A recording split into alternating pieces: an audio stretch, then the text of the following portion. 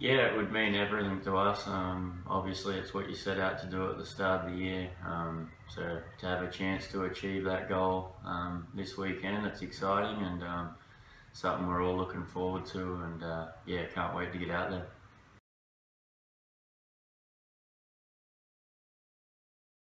Yeah, it's been uh, really good. Um, last night the guys had a great hit out. Um, got after it, got to go through everything we need to go through, and then being a Friday game this week, we'll finish it off with a lighter session tonight and knuckle down on what Townsville are going to do, and um, yeah, get ready to go. It's obviously a big weekend, so potentially playing three games, you've probably got to lighten up a little bit um, this this week to be prepared for that weekend. But um, yeah, I think we're uh, in good stead.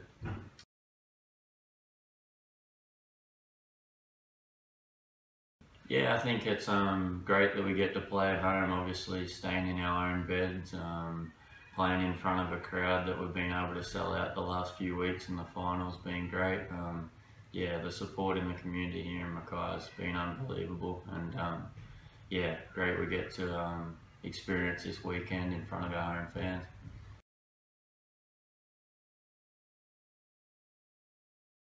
Yeah, the Heat, yeah, they obviously had a great season, um, playing well the last few weeks. Um, yeah, to beat them, I think they're just a good, well-rounded team. Um, the type of team that make you pay for it if if you do have a possession off or fall asleep. So just staying solid, um, playing to our strengths, I think will be a big key to um, beating the Heat and hopefully bringing a championship to Mackay.